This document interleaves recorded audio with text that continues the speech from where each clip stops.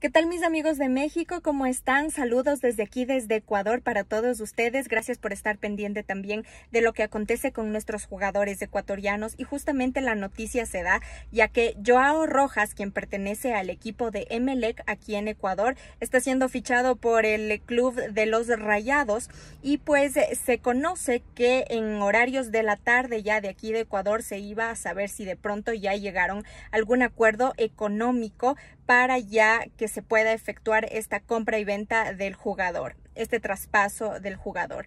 Eh, hasta el momento todavía no se ha sabido una respuesta oficial. Lo que sabemos es que están todavía en conversaciones para definir la cantidad de dinero por la cual sí se realizaría este traspaso.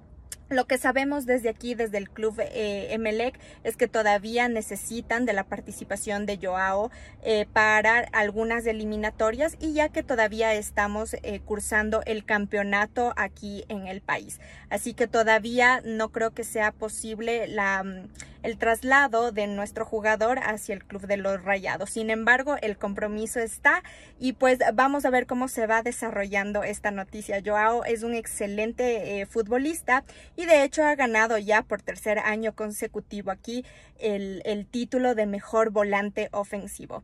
Así que esperamos llegar con ustedes con más noticias para saber si ya de pronto se llega a concretar este traslado de nuestro jugador. Un saludo desde Ecuador, mi nombre es Paulette Jauregui y hasta la próxima.